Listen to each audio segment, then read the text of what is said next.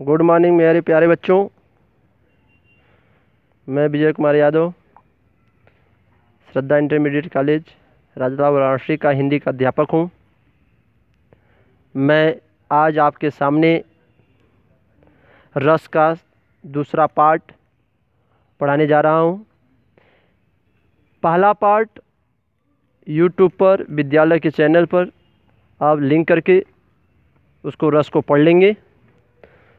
आज दूसरे पार्ट का मैं पढ़ाना जा रहा हूँ। रस के, रस का परिभाषा और रस के चार अंग के बारे में मैंने पहले वीडियो में स्पष्ट किया था। किया था। आज हम उन्हीं चारों अंगों को बारी बारी से तो चार छठवा बनावा आइए हम आपको अस्थाई भाव के बारे में स्पष्ट करते हैं। अस्थाई भाव। जैसा कि आपको नाम से ही पता चलता है कि अस्थाई भाव, जो कि मन मस्तिष्क पर अस्थाई रहता है। इसका परिभाषा है अस्थाई भाव प्रत्येक सहृदय व्यक्ति के हृदय में हमेशा विद्यमान रहते हैं। यद्यपि वे सुप्त अवस्था में रहते हैं, तथापि उचित अवसर पर जागृत एवं पुष्ट होकर ये रस के रूप में परिणत हो जाते हैं। अर्थात कहने का मतलब कि जो अस्थाई भाव होता है, वह एक भाव होता ही है, अंदर किसी प्रकार का होता है, वह अस्थाई भाव प्रत्येक व्यक्ति के हृदय में होता है। लेकिन एक उचित समय ऐसा आता है कि वह भाव जागृत हो जाता है, उसे कहते हैं अस्थाई भाव। जैसे रास्ते पर हम जा रहे हैं अचानक कहीं कोई पशु मरा हुआ दिखाई दे रहा है। हम घर से प्रसन्न मुद्रा में चल रहे थे, लेकिन पशु के देखते ही, मरे हुए पशु के बिखरे हुए अंगों को देखते ही हमारे अंदर जो घृणा उत्पन्न हो जाती है, उसी को हम कहते हैं अस्थाई भाव। और अस्थाई भाव, कुल अस्थाई भाव नौ माने गए हैं। क्योंकि पहले भरत मुनि ने इसकी संख्या आठ ही मानी थी बाद में शांत रस को जोड़ लिया गया है। नौ हो गया और दो अस्थाई दो जो रस है अस्थाई भाव है, वह बाद में जोड़ गया है वात्सल वसलता और भक्ति। ये दो और जुड़ गया है, इस तरह से कुल ग्यारह हो गए हैं। आइए हम बारी बारी से सभी का अस्थाई भाव और रस बता देते हैं। रति अस्थाई भाव है रति। रति मीन्स होता है प्रेम। इसको नोट कर लीजिएगा। रति मीन्स होता है प्रेम, और प्रेम, और इसका रस होगा श्रृंगार। देखिए, रति जो तीन प्रकार का होता है, इसको हम इसके बाद आपको स्पष्ट करेंगे। पहले यह देख लेते हैं।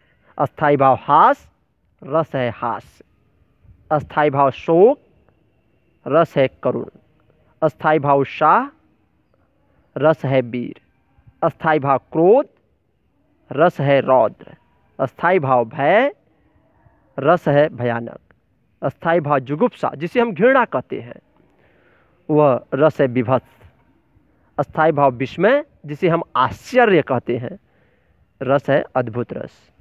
अस्थाई भाव निर्वेद, रस है शांत। और ये नौ हो गया, दो और है, वत्सलता। अस्थाई भाव वत्सलता, रस है वात्सल्य। अस्थाई भाव भक्ति, रस है भक्ति। इस प्रकार से यह ग्यारह अस्थाई भाव और रसों की संख्या हो गई। इसके आगे हम आपको नोट के बारे रति के बारे में बताते हैं। नोट। नोट। रति नामक अस्थाई भाव के प्राचीन ग्रंथों में तीन भेद किए गए हैं। प्राचीन ग्रंथों में जो रति मैंने कहा था, रति का प्रेम जो होता है वह तीन प्रकार का होता है। पहला क्या होता है? कांता विषयक रति। कांता विषयक रति का मतलब होता है जहाँ नर और नारी का पारस्परिक प्रेम होता है। जहाँ केवल नायक और नायिका का पारस्परिक प्रेम होता है, वहीं पर इसे कांता विषयक रति कहते हैं, यह श्रृंगार रस होता है। दूसरा है अपत्य विषयक रति। अपत्य विषयक रति का मतलब होता है जहाँ संतान विषयक प्रेम, जहाँ माता और पुत्र के प्रति जो प्रेम होता है, उसे हम अपत्य विषयक रति कहते हैं। इससे यह यह जो होता है, यह रति जो होता है, यह रस वात्सल्य होता है। तीसरा है देवता विषयक रति। देवता विषयक रति। जो देवता विषयक रति का मतलब है भगवान के प्रति भक्त का प्रेम।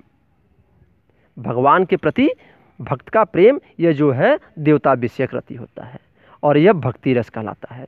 अर्थात इस प्रकार से रति का जो प्रेम होता है, तीन प्रकार से होता है। रस गिनने के लिए तीन होता है, लेकिन कहीं ना कहीं तीनों आपस में एक दूसरे से जुड़े हुए हैं। सब प्रेम पर ही डिपेंड है। इसलिए इसे रति कहते हैं। आज ये अगला है अस्थाई भाव के बाद दूसरा है, विभाव। विभाव जो है, विभाव का परिभाषा है कि जो कारण जो कारण व्यक्ति, पदार्थ, परिस्थितियाँ आदि दूसरे व्यक्ति के हृदय में अस्थाई भाव को जागृत तथा उद्दीप्त करते हैं, उन्हें विभाव कहते हैं। विभाव के दो भेद होते हैं।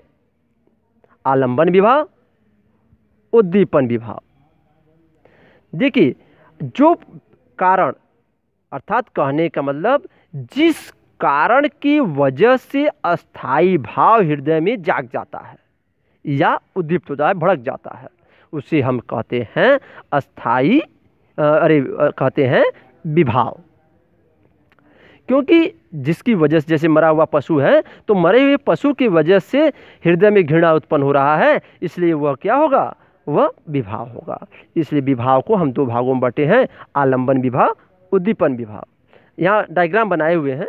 देखिए, आलंबन विभाव उद्दीपन विभाव आलंबन विभाव भी दो प्रकार का होता है, आश्रय और विषय।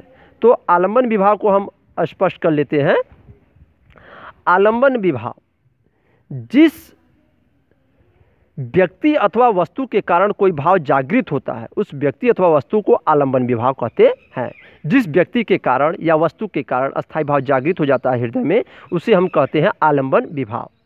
आलंबन विभाव भी, विभाव के दो भेद होते हैं। मैंने पहले ही बताया कि आलंबन विभाव के भी दो दो भेद होते हैं। पहला है आश्रय, दूसरा है विषय। अब आश्रय किसे कहते हैं? जिस व्यक्ति के हृदय में अस्थाई भाव जागृत होता है, उसे आश्रय कहते हैं। विषय, जिस व्यक्ति या वस्तु के कारण आश्रय के चित्त में अस्थाई भाव उत्पन्न होते हैं, उसे विषय कहते हैं। अर्थात जिस व्यक्ति के हृदय में अस्थाई भाव जगता है, उसे आश्रय। जिस व्यक्ति के, जिस व्यक्ति के कारण या वस्तु के कारण अस्थाई भाव जगता है, उसे विषय कहते हैं। और एक रह गया है उद्दीपन विभाव। उद्दीपन विभाव। तो उद्दीपन विभाव कैसे कहते किसे कहते हैं? अस्थाई भावों को उद्दीप तथा तीव्र करने वाला कारण ही उद्दीपन विभाव कहलाता है। अस्थाई भाव को उद्दीप तथा तीव्र करने वाला कारण उद्दीपन विभाव कहलाता है। अर्थात इस प्रकार से विभाव, इस वीडियो में यह विभाव के अस्थाई भाव और विभाव क्लियर हो गया है। और इसे आप अच्छी तरह से देखें, समझें, लाइक और शेयर करना ना भूलें। कोई भी समस्या या होता है, विद्यालय के व्हाट्सएप नंबर पर आप लेकर भेज दें। अगला वीडियो हम, अनुभाव को अगले वीडियो में हम देंगे।